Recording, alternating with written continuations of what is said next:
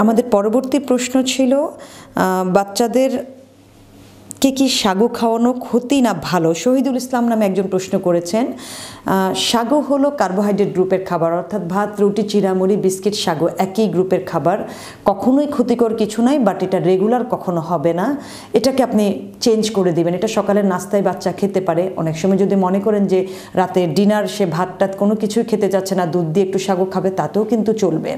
সকালের নাস্তা অথবা রাতের খাবার। কেউ যদি মনে করেন স্ন্যাক্স টাইমে বিকেলে দিতে চান যে বাচ্চা শুধু দুধ খেতে চায় না, তার সাথে একটু সুজি বা সাগু দিলে খাবে। আপনি চাইলে তাও কিন্তু করতে পারেন। কারণ হলো, দুধ দিয়ে সাগু তৈরি করে খাওয়ানো কিন্তু একটা ফুল মিল। অর্থাৎ সেই খাবার থেকে কিন্তু সব কিছুই পেয়ে যাচ্ছে। তার সাথে যদি একটু কিশমিশ বা বাদাম যোগ করা হয়, খাবারের প্রত্যেকটা উপাদানই এই খাবারটা থেকে কিন্তু আপনার বাচ্চা পেয়ে যাচ্ছে।